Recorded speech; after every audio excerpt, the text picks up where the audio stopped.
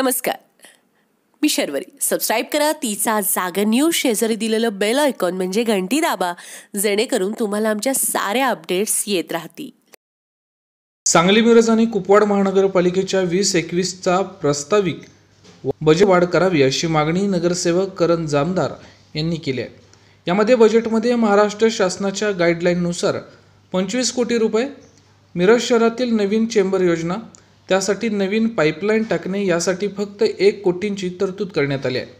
त्यासाठी एक कोटीऐवजी तीन कोटी मंजूर करावी आणि कृष्णाघाट स्मशानभूमीकरिता पंधरा लाख रुपये मंजूर करण्यात आले आहेत परंतु शहरातील वाढती लोकसंख्या लक्षात घेऊन स्मशानभूमीतील कट्टे दुरुस्त करणे कट्टे विधा करणे यासाठी व नदीकडे जाणाऱ्या लोकांना पायऱ्या करणे स्मशानचे सुशोभीकरण यासाठी निधी कमी पडतोय. त्याकरिता पन्नास लाखापर्यंत निधी वाढवणे तसेच मिरजेमध्ये छत्रपती संभाजी महाराज पुतळा बसवण्यासाठी मंजूर अंदाज धरण्यात आले. परंतु चबुतरा बसवणे सुशोभीकरण या कामी सदर रक्कम ही कमी पडत असून सादर बजेटमध्ये रक्कम वाढवून पन्नास लाख रुपये करावी या मागणीचं निवेदन नगरसेवक करण जामदार यांनी स्थायी समितीचे सभापती पांडुरंग कोरे यांना दिले.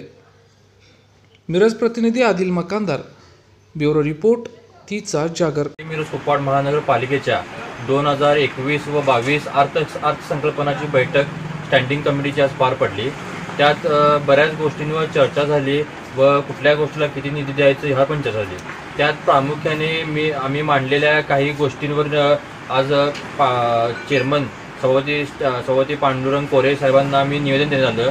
त्यात प्रामुख्याने म्हणजे छत्रपती संभाजी महाराजांचा पुतळा हा मिरज शहरात बसावा ह्याकरता एक पन्नास लाख निधी. त्यानंतर जे कृष्णा घाट कृष्णा घाटावर हिंदू स्मशानभूमी आहे त्यात बरेच कामं अजून प्रलंबित आहेत. जसे की अजून कट्टे वाढवणे जे कट्टे आहेत ते दुरुस्त करणे त्यानंतर पा नदीकडे असलेल्या रस्त्याला पायऱ्या करणे लाइट लावणे असे बरेच कामं आहेत कंपाऊंड करणे. ह्याच्याकरता पण निधी वाढवून मिळावं ह्याच्याकरता पण पन्नास लाखाचं एक निवेदन दिलं. त्यानंतर जे मिरज शहरातील गावठण भाग आहे त्यातलं जे ड्रेनेज सिस्टीम आहे ते खूप चा जो म्हणजे जवळपास चाळीस तीस वर्ष जुनं आहे. आणि ते आता प्रा त्यात आता दुरुस्तीची करायची गरजेचं आहे म्हणजे पाईप बदलणे असतील चेंबर बांधणे असतील किंवा कुठलेही बारीकचे काम असतील तर ह्याच्याकरताही मिरज शहराकरता तीन कोटी निधी मिळावा फक्त गावठण भागातल्या ड्रेनेज सिस्टीम बदलण्याकरता. ह्याच्याकरता एक निवेदन देण्यात आलं.